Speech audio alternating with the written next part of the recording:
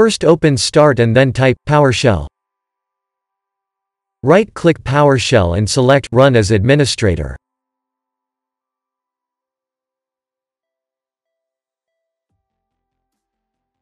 Press Yes.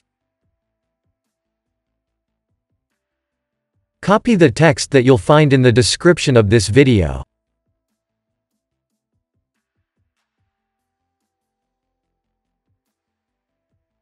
Right-click the white frame.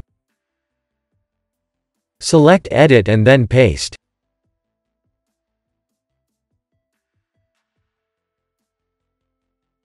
Press Enter.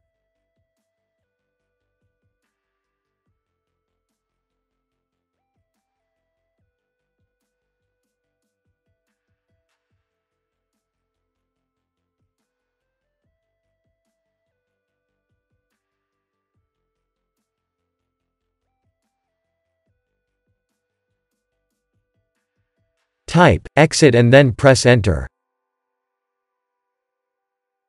Now restart.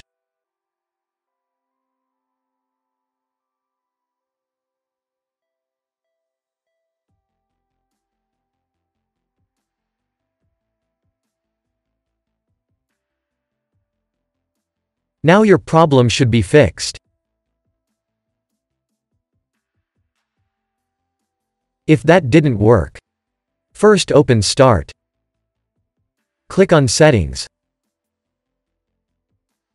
Click on Apps.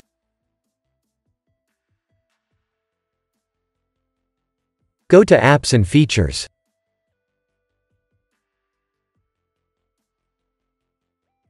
Locate the Microsoft Store.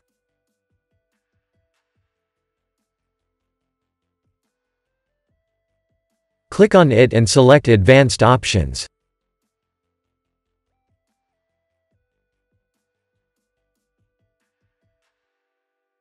Locate Reset.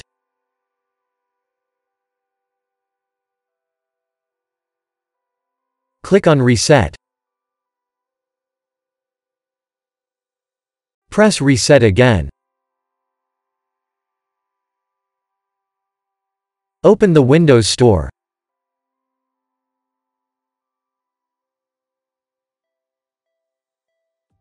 Now your problem should be fixed. If that didn't work, first open Start and type WS Reset. Click on WS Reset. Wait for the Windows Store to be repaired.